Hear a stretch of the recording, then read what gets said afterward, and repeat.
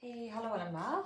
Welkom bij weer een video voor tweelingvlammen. Lichtwerkers. Ja, ik word geleid om heel snel weer een nieuwe video te maken.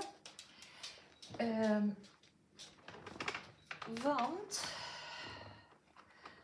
ehm, ja, er is veel verdriet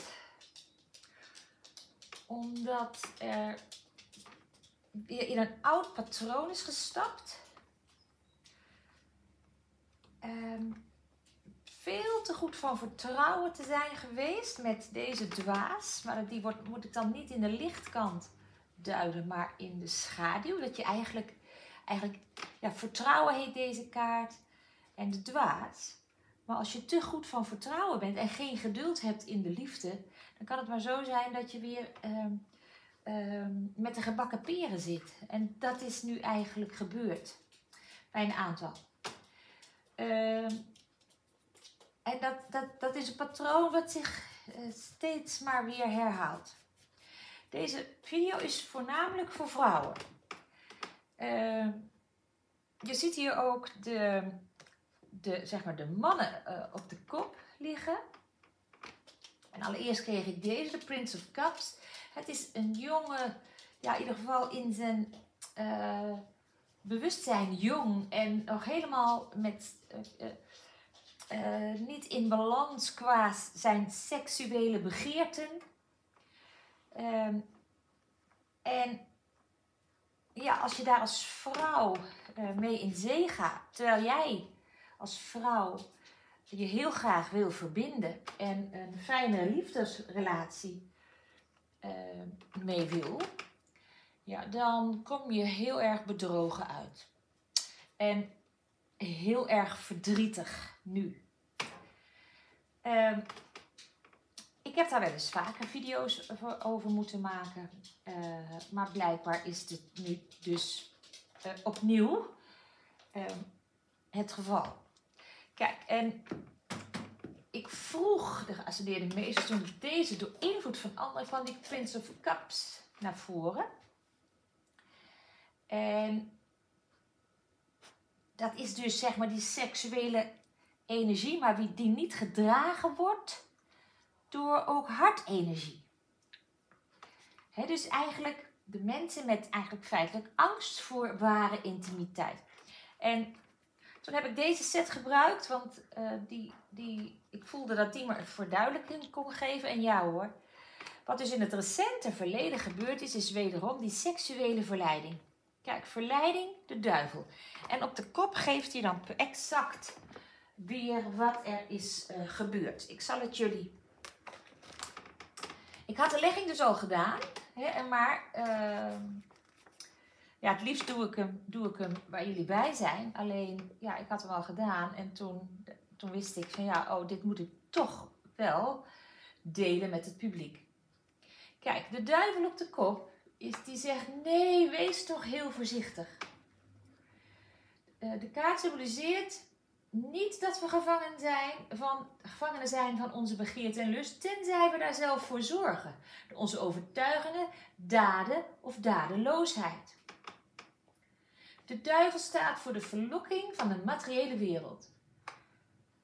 Een relatie die is gebaseerd op geld, macht, status, uiterlijk of seks. De eigenlijke bedoelingen worden verhuld.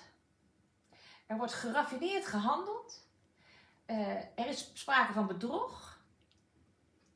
Uh, de relatie wordt op de proef gesteld, want het is een relatie op basis van lust, bedrog en hebzucht. Iemand zit tegen je te liegen of probeert je te verleiden met leugens en bedrog. Het kan ook betekenen dat jij tegen jezelf liegt. De waarheid komt weldra aan het licht. Misschien word jij aangetrokken tot iemand die jou niet waard is, die jou alleen maar voor zijn eigen bevrediging gebruikt. Of echt een bedreiging vormt voor je gezondheid en veiligheid. Ook qua seksuele contacten.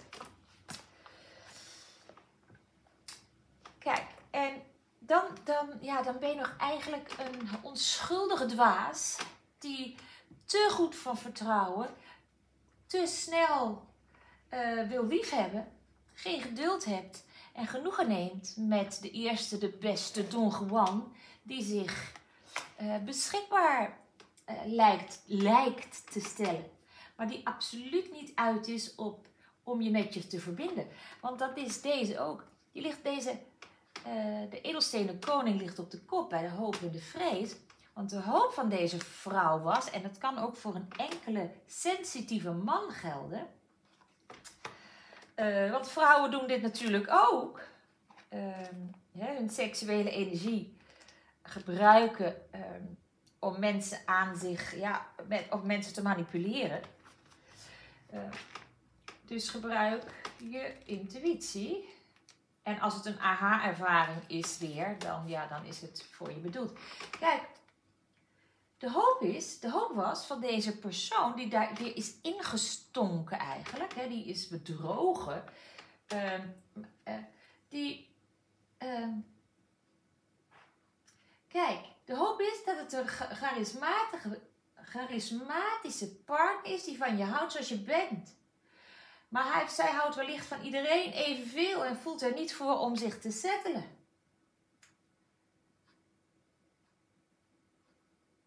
Hij of zij kan een instelling of gewoonte en tics hebben die het samenleven gewoon bemoeilijken. Deze persoon boycott uit overlevingsdrift.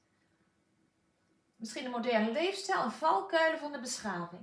Hij is op een dwaalspoor geraakt in zijn zoeken naar het ware en heeft daardoor onwerkelijke verwachtingen en een regelrechte afkeer van wat een monogame relatie met ware liefde kan zijn. Dus, uh, er zijn een aantal mensen in het collectief opnieuw in zee gegaan met, uh, uh, met iemand die zich anders voor heeft uh, gedaan ehm, en andere bedoelingen had dan wat jij, de kijker, eh, ja, wat de hoop was. En kijk, de, de, dit, hè, het geduld, dat ligt hier op de bewustzijn. Ook in de liefde moet je echt geduld hebben. Maar dat is dus, de, deze persoon is door ongeduld, uh, ja, dwaas, toch, toch wederom dwaas geweest. En nu toch weer met de moeilijkheid. Kijk, moeilijkheid, vleugelen 10 op de kop. Je zit weer met de moeilijkheid. En oh, lieve kijker, echt. En je kunt er je kunt er inzicht over hebben. En precies weten dat je het iedere keer doet. Maar als je de pijn uit je verleden niet heelt, gebeurt het je iedere keer weer. Ook al heb je inzicht. Dat is, dat is het. Want je denkt, oh, ik weet het nu wel. Ja, maar toch, toch gebeurt het je weer. Omdat die oude wond uh, van onbereikbare liefde, de afwijzing van liefde van papa en mama, niet is geheeld. En dan blijf je in je volwassen leven die relaties aantrekken die dit soort moeilijkheden brengen. Kijk, je bent in een situatie beland, je of je kunt nog in een situatie belanden of er al middenin zitten waarin het allerergste wat maar kan gebeuren met een mogelijke geliefde ook gebeurt. Er vloeien tranen en je gelooft niet meer in ware liefde. De hoop en dromen van het verleden lijken de bodem ingeslagen. Je zit met vroeging en pijn over een verloren of verbroken relatie. Zoek de steun van anderen die hetzelfde hebben doorgemaakt. Gevoelens van wanhoop en of onbewind en in de steek gelaten zijn, kunnen op een diepe depressie wijzen. Professionele hulp is dan nodig om je hier uit te halen en je weer in de ware liefde te doen geloven. Ja, dat is de advieskaart van de, de, het advies van de geassoleerde meesters. Als je hier nu opnieuw in deze situatie bent beland, uh, en weer met dat ingrijpende gevoel van verlies uh, zit. En, en dat het je weer is gebeurd. En wederom te goed van vertrouwen bent geweest. En uh, ja, dan zoek dan hulp. En ik kan je daarbij helpen. met, ik kan je helpen met innerlijk kindwerk als je daaraan toe bent. Ehm, maar moet je natuurlijk wel openstaan ook voor, ehm, ja, om het ook echt te gaan doen. Want alles valt of staat met dat je dat dan ook gaat toepassen in je leven. Ongerustheid, die ligt bij jou. Ja, op dit moment voel je je eigenlijk buitengesloten van het liefdesfeestje. En stress, ongerustheid, uh, en dat je wellicht nooit meer de ware liefde zult vinden. Of dat je uh, niet meer relaties kunt verbeteren. Uh, en ja, het moet in evenwicht komen. Uh, doe kleine stapjes vooruit, ook al is het met angst in het hart. Paniekaanvallen kunnen zelfs ook op dit moment er zijn. En ook hier staat weer, paniekaanvallen zijn, Paniekaanvallen zijn stoornissen met de oorzaken kunnen genezen worden door professionele hulp. Tweemaal het advies van de geascendeerde meesters voor professionele hulp. Want, wat ligt hier op de kop bij de conclusie? Gewoonten. Je blijft oude gewoonten herhalen. Uh, ook, ook, waarschijnlijk door uitstel van professionele hulp. Deze, ik kreeg ook steeds van, van uitstel komt afstel. En ehm, uitstellen om, om ook echt daadwerkelijk iets aan je, aan je situatie te gaan doen. van uitstel komt afstel en voor je het weet zit je weer met dezelfde moeilijkheden en met het enorme, enorme verdriet. Want ja, ik weet het zelf. Ik heb het zelf gehad. Uh, met het enorme. Ik was zo graag liefhebben, maar ik werd steeds weer geconfronteerd met, dit soort situaties. Ik deed het zelf, alleen ehm, door mijn wond, mijn innerlijke wond. Kijk. Zelfondermijnende gewoonten bedreigen je liefdesleven. Gebrek aan discipline maakt dat jij jezelf voorbij loopt en daarbij lange termijn doelen opoffert voor korte termijn pleziertjes. We hebben het er al heel veel over gehad, hè? Dat heel veel mensen in de liefde voor de korte termijn gaan omdat je geen geduld hebt. Geen geduld. Maar geen geduld hebben is dus dat je nog niet met jezelf aanwezig kunt zijn. Want als je heel veel zelfliefde hebt, ja, dan trap je je nooit meer in, joh. Dan kun je ze ruiken. Dit soort, dit soort gasten kun je dan ruiken. Dus, uh, en dan heb je zoiets van, oh nee, ik wacht liever nog een tijdje dat die ander uh, naar me toe kan komen. Die wel uh, oprecht wil verbinden. Kijk. Uh, iemand zal proberen van je te profiteren. Als jij geen discipline hebt, of, of weer verliest, of een slaaf van gewoonte wordt. En misschien blijf je bij iemand of houd je vast aan een bepaalde koers als het beter is van niet. Ja. En het kan zijn dat jij belangrijke plannen uitstelt. Of te gemakkelijk opgeeft voor een geliefde. Dit is het precies. En dan pat, boem uh, zit je weer in het oude. Kijk, en hier ligt die vleugelen koningin, dat is die analyticus, maar die weet, die weet precies wat er aan de hand is. Ja, en dat, dat ben ik dan. Ik kan er niks anders van maken.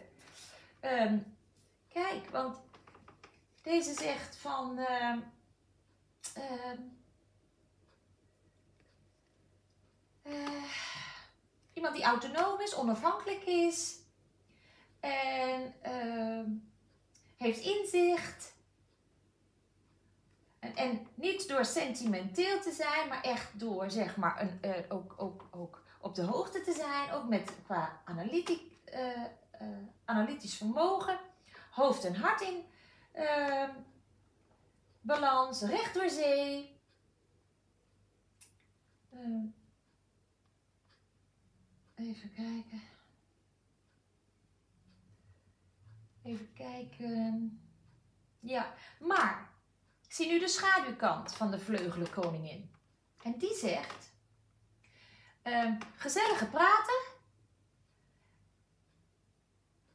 maar op, het, op relatiegebied gewiekst, berekenend en stellig over wat juist en onjuist is. Kijk, maar dus er is een lichtkant in die vleugelenkoningin, maar ook een schaduw. Want kijk, de wonden van het leven hebben haar emotioneel intelligent gemaakt en tot een goede counselor en mentor. Hè? Dus dat. ehm, maar er is dus ook een, dat je toch, dat hij tegelijkertijd ook zegt van hé, misschien heb je je wel laten beïnvloeden omdat hij een goede prater is. Eh, goede, goed kan luisteren, zogenaamd, en goed, goede wijsheid, eh, raad kan geven. En ook dat je er ook nog mee kan lachen. Maar op relatiegebied is, is, kan iemand ook gewiekst en berekenend, berekenend zijn. Kijk. Want dat is dan de vleugelenkoningin die nog, nog niet die counselor kan zijn, omdat ze zelf nog worstelt met die oude wonden. Tja, dus misschien heb je dan wel laten beïnvloeden door een vleugelenkoningin die zich al voordoet als leraar, terwijl het nog geen leraar is. Zo, zo, ehm, want dat hij op de invloed ligt. Dus ja. Verdrietig, maar ehm, misschien nu wel ook de doorbraak om niet langer professionele hulp, ehm, hoe heet dat, Eh, uit te stellen. Ik ga even schaduwkaartjes doen.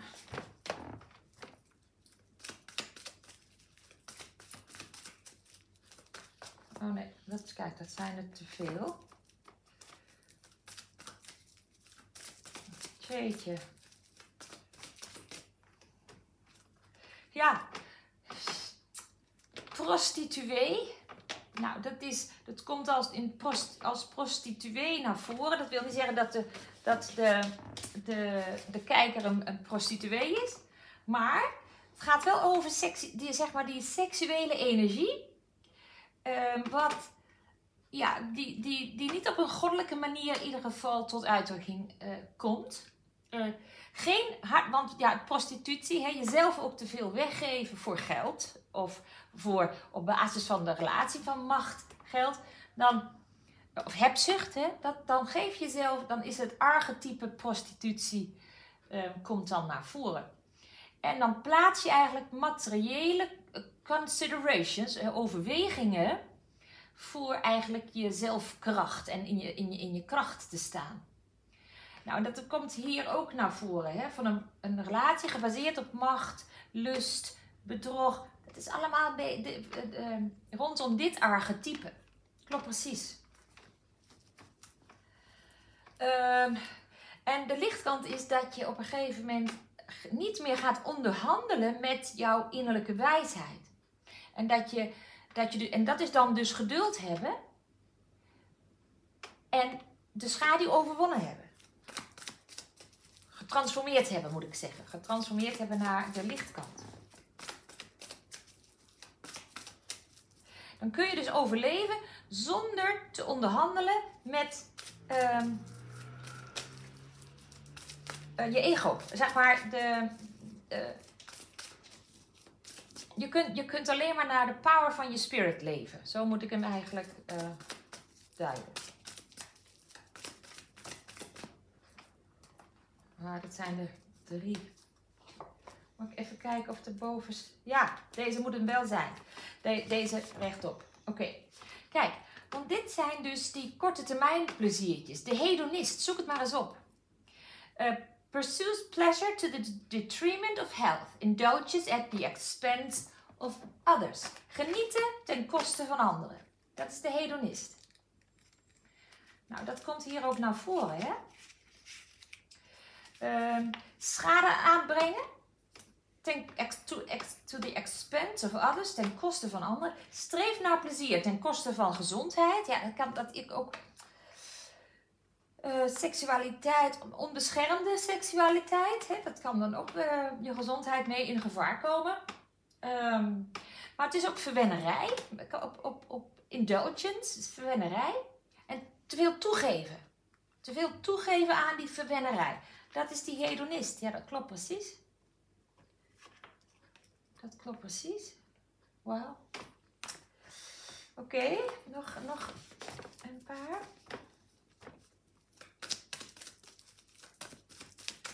Oh, deze misschien dan nog? ik weet niet zeker. Ik doe hem nog.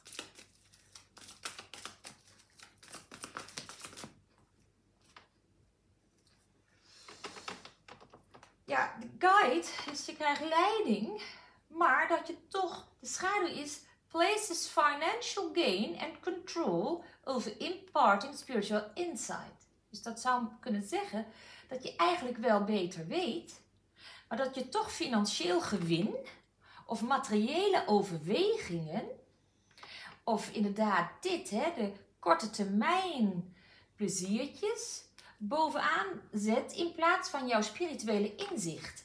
En dan ja, volg je de leiding niet. Ja. Dat is allemaal uh, op, ja, de materiewereld. Heb ze, oeps. Ja, er is een, uh, verkeerde mentor met false instructions. Imparting false instructions. Dat, dat is deze vleugelenkoningin in de, in de schaduwkant. Wat duidelijk ook naar voren kwam. Uh, dat, dat er valse informatie wordt gegeven. Imparting false instruction. Dus de, ja, dit heb je ook weer meegemaakt om onderscheid te maken. Met welke mentor ga jij in zee? Want als jij al een tijdje met een bepaalde mentor en, en uh, zeg maar in zee bent, uh, maar er verandert niets aan je situatie, je komt iedere keer weer in, in die enormezelfde moeilijkheid, ja, dan moet je jezelf toch eens serieus af gaan vragen of deze mentor jou wel de juiste informatie geeft. Imparting false instructions. Of dat wel die goddelijke guide is. Of is dat een guide die financieel gewin bovenaan zet? Want die hebben natuurlijk veel, hè? Mentor, coaches, uh, uh, zogenaamde uh, lichtwerkers, die, waarbij het eigenlijk om financiële, financieel gewin gaat. Dat komt niet voor niks naar, naar voren. En daarmee kom je steeds weer in diezelfde moeilijkheid. Zal ik hem nog een keer erbij pakken? Hier deze. Want die, die, die, is dus eigenlijk heel, heel um, licht lijkt. Hè? Lijkt. Maar dat kan ook, hè? want je hebt ook de goede erbij. Die, die juist en die weet wat juist en onjuist is. En dat de juiste wonde van het leven haar eh, emotioneel intelligent heeft gemaakt en tot een goed counselor heeft gemaakt en mentor heeft gemaakt. Hè? Maar ook een gezellige praten, goed luisteren, bij zijn raad geven, lachen, maar gewikst en berekenend. Berekenend is dat, je, dat, het, dat het je meer om, om financieel gewin gaat.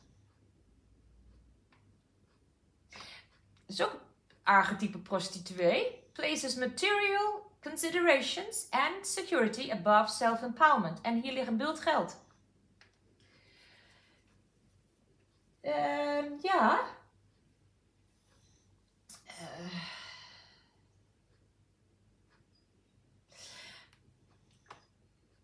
Ja. Nee, dat is me duidelijk. Want dat proberen ze te zeggen.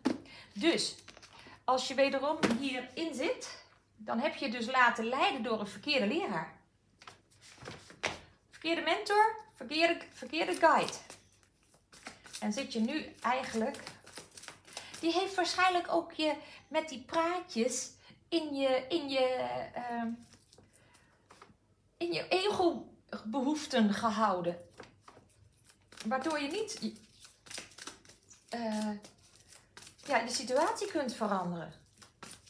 Die, praat je, die praat jou eigenlijk veel meer naar de mond. Maar de goede counselors doen dat niet. En die geven je ook geen valse instructies. Goddess, ja. Het is de, het is de, het, de vrouwelijke energie, hè, de, de, de godin in, in de schaduw. En dat is ook, zeg maar, uitbuiting van de vrouwelijke energie. Schaduwattribuut. En dat is ook met in, te snel in zee gaan hè? Met, met, uh, met ook je seksuele uh, energie, te, te, te snel van vertrouwen. Dat is ook uitbuiting eigenlijk van je. En dan hoop je misschien ook met, met seks iemand aan je te, te binden.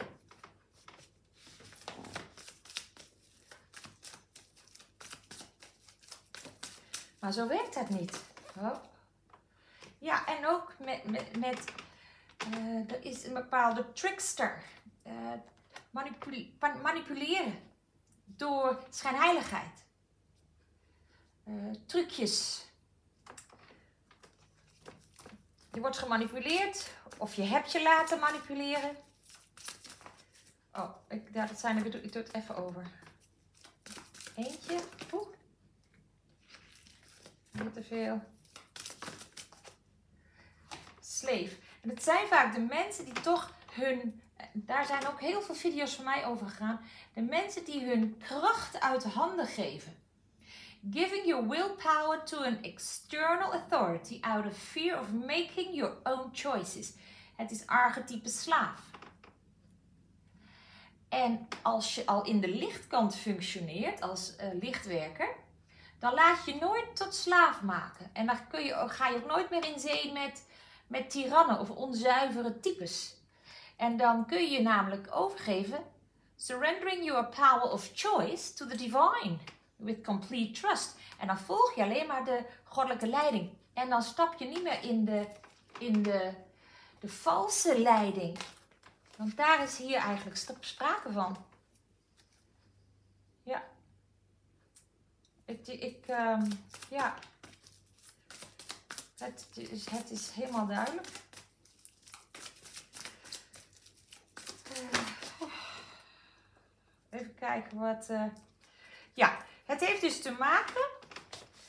Um, kijk, iemand die doet zich voor als een valse priester. Um, violate the trust of the spiritual community. And seduced by your own spiritual role. Je wordt verleid door je eigen spirituele rol.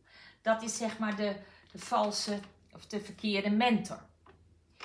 Uh, en die, zal, die, die beschaamt ook het vertrouwen van de spiritual community. Het is de valse priester. En de ware priester, die, die dient als een goddelijk kanaal. Serves as a channel of spiritual energy. En die faciliteert ook spirituele commitments. Dat is de juiste priester. Dus er is een, de geascendeerde meesters willen heel graag overbrengen aan een aantal mensen in het collectief. Dat er een aantal denken dat ze de goddelijke leiding volgen. Maar dat het meer iemand is met mooie praatjes, die zelf niet uh, emotioneel geheeld is door wonden, maar uh, geld op de eerste plaats zet, maar ook dus een valse mentor is en valse instructie geeft. Waardoor de kijker die, die, die zo ontzettend graag uit het lijden wil, continu met, eh, in het moeras blijft, eh, getrokken blijft.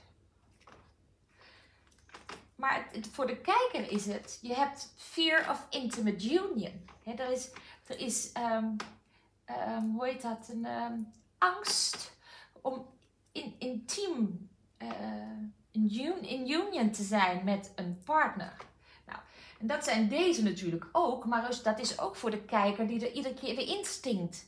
He, want er is, er is angst voor verlaten worden, angst voor afwijzing. Het is het innerlijke kind. Het is de, het is de onbeantwoorde liefde. Ja, klopt ook precies. Ja. Oké, ik doe er nog een... Uh, oh, één schaduwkant hoor ik nog. Oké.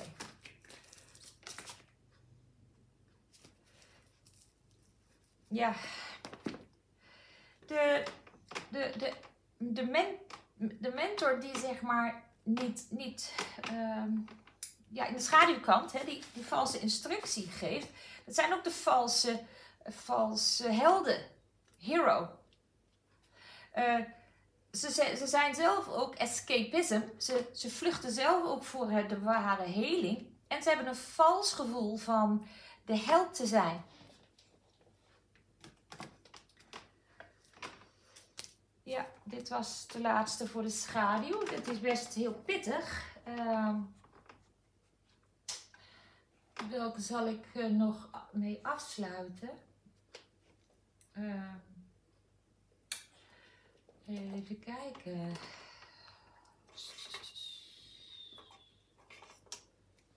Uh, nou, ik weet het niet. Oh ja, ik ga een innerlijk kind in liefdesbang.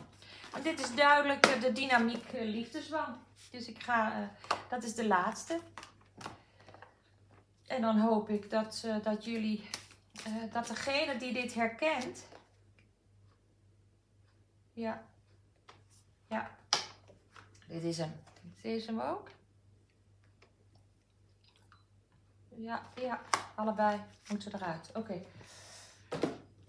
Kijk, um, ik hoop, ik hoop hè, dat je, als je hierin herkent hoe, hoe, hoe, hoe pittig het ook is, hoe pittig de boodschap ook is, en hoezeer je ook voor jezelf toe moet geven dat je je eigenlijk hebt uh, ook laten misleiden door een, een valse mentor.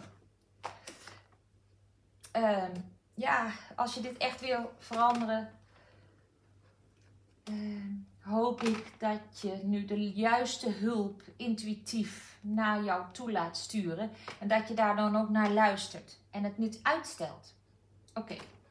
eerst deze. Zolang jij grijpt, zoekt en haalt buiten jezelf, ben je bezig een gemis in jezelf op te vullen met iets wat niet helpt. Het is een onvrije beweging die de ander aan je bindt en het zal nooit genoeg zijn, wat de ander jou ook geeft. Het bevestigt de verwijdering in jezelf en daarmee duw je je partner weg. Doorzie de claim en omarm de diepte van je eigen wond. De plek waar je eigenlijk niet wilt zijn. Precies daar moet je zijn. Deze plek heeft jouw liefde nodig. Innerlijk kindwerk. Want het is de, de, de pijn van onbeantwoorde liefde van papa en mama. Dat is die wond. En die moet je helen. En dan ga je uh, niet meer bang zijn voor liefde. En ga je ook geduld krijgen om te wachten. Hè? Ik, wacht al, ik wacht nu al inmiddels weer acht jaar. En ook dan moet ik nog langer wachten. Ik heb geduld. Oké. Angst creëert illusies, vals hoop en valse macht. Hiermee saboteer je de kans op liefde. Het ontmaskeren van jouw illusies is van groot belang om jezelf de kans op liefde te gunnen. Liefde kenmerkt zich door contact met de realiteit, precies zoals die is. Dit vraagt wel van je om de consequenties te aanvaarden die erbij horen.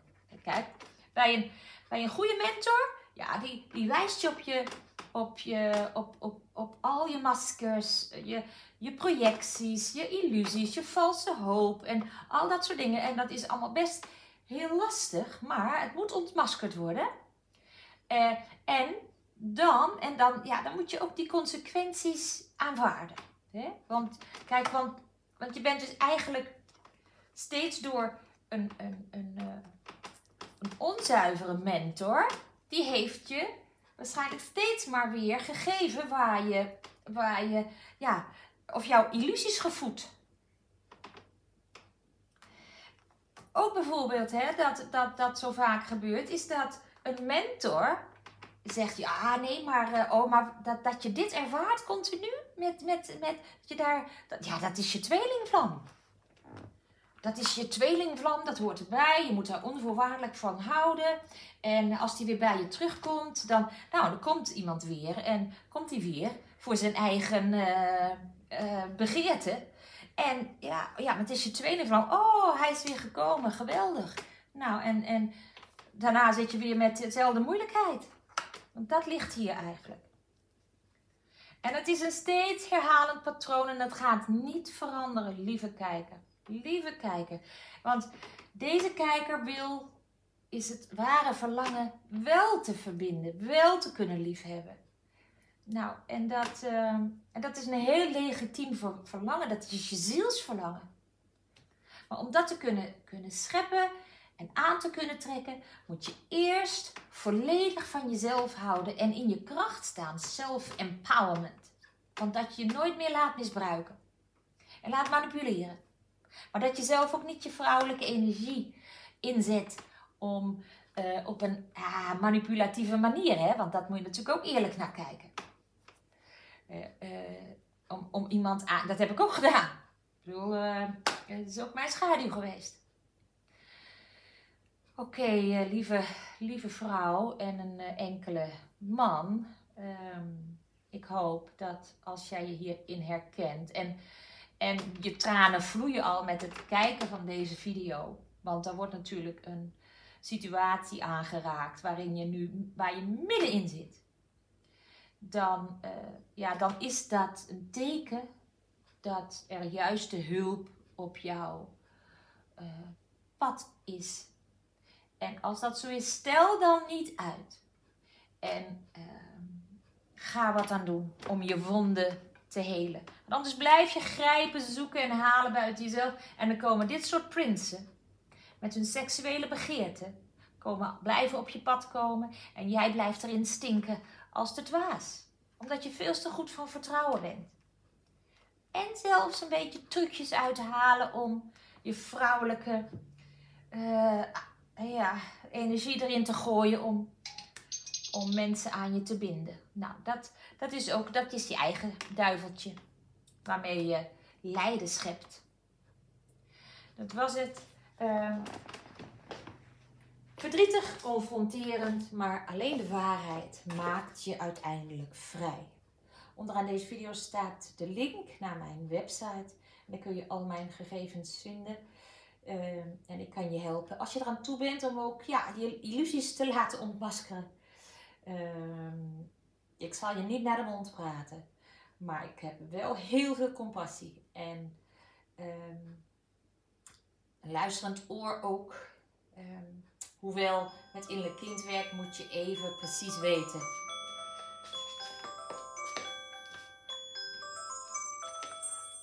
Mijn excuus. Oh. Met, ja, met innerlijk kindwerk, als je de eerste sessie moet, moet, is er ook vooral uh, dat, dat ik je uitleg hoe je thuis uh, dit aan kunt pakken. Hè? Dus, uh, oké. Nou, dat was het. Ehm, ik hoop je te zien. Heel veel liefs. Bye bye.